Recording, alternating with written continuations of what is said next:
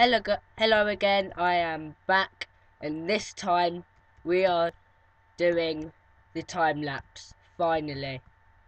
But before I start the time lapse of making this, I'm going to explain the difference between using the Java program and the panel.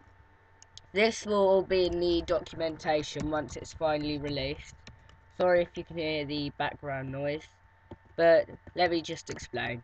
So, the panel itself will be missing out on a few features, such as programming to the GPU ROM, and it'll miss out on some more functions which are more programmed into the Java program than into the computer itself.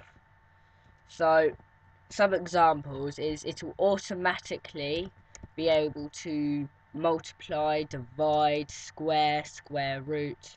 So it's not done in Minecraft, it's done in the code itself.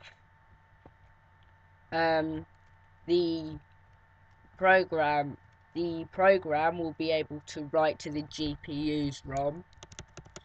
So, and the reason I'm doing this is not only so it's a bit simpler, easier to use with the panel, as it was intended to be like, but it sort of encourages people to learn programming with this. And it will be a really good cut. It will be a really good resource to start learning programming from. And as I said, I'm not going to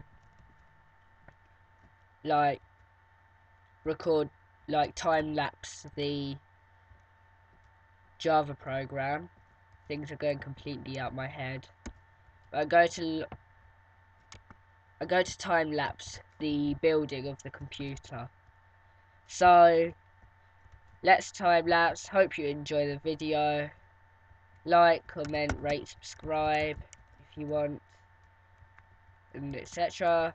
So let's go.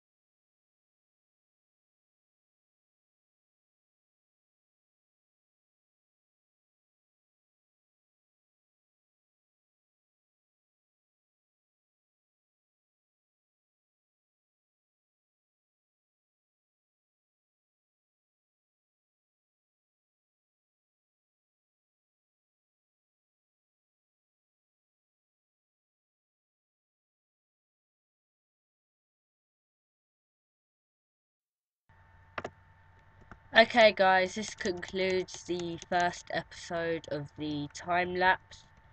So I'm just going to explain what I've done so far.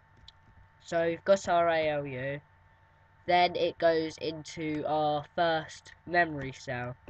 These are what are called T flip-flops, and every time it receives a, a pulse, it changes from 1 to 0 or from 0 to 1. So that's this small design here. This is the reset line. This bit allows it to go through. And the reset line in this bit is the same thing.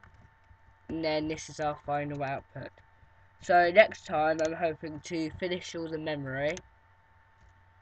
Then, oh, so, so far we've got this bit and the memory. Well, part of the memory. Also this needs to be an orange block, I think. Well, that doesn't matter for now. But anyway, I hope you enjoyed and I'll see you tomorrow.